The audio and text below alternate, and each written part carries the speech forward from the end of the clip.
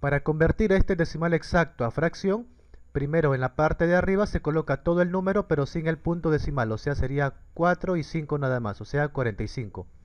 Debajo siempre colocamos el número 1. Ahora contamos, ¿cuántos números después de este punto decimal hay? Solamente hay un número, entonces un solo cero. Si es que hubieran dos números después de este punto decimal, hubieras puesto dos ceros, ¿de acuerdo? Listo.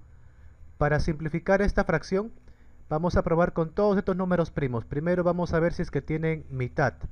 A ver, para que tenga mitad, acuérdense que el número debe terminar en una cifra par, o sea, debe terminar en 0, 2, 4, 6, 8.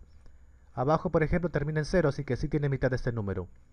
Arriba no tiene mitad, ¿por qué? Porque termina en impar. Así que como el de arriba no tiene, no podemos sacar mitad. Tercia. ¿Cómo sabemos si un número tiene tercia? A ver, por ejemplo, arriba. Sumamos las cifras. 4 más 5, 9. ¿El 9 tiene tercia? Sí, porque 9 entre 3 es exacto. Entonces este número también tiene tercia. Veamos abajo. 10 tiene tercia.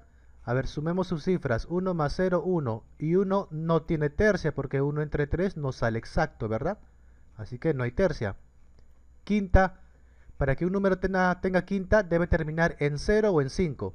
Abajo termina en 0, así que sí tiene quinta el 10. Arriba termina en 5. También tiene quinta, entonces el 45, así que quinta. Acuérdense que decir quinta es como decir divídelo entre 5. 45 entre 5 es 9. 10 entre 5 es 2. Queda 9 y queda 2, ¿verdad? A ver, ahora este 2 lo único que tiene es mitad, ¿verdad? Cosa que arriba el 9 no tiene, así que ya no se puede seguir simplificando más. Queda 9 sobre 2. Respuesta final. No olvides comentarme lo primero que se te venga a la mente, lo que sea, cualquier cosa. Y no olvides entrar a esta página cuyo link te lo dejo ahí abajo en la descripción.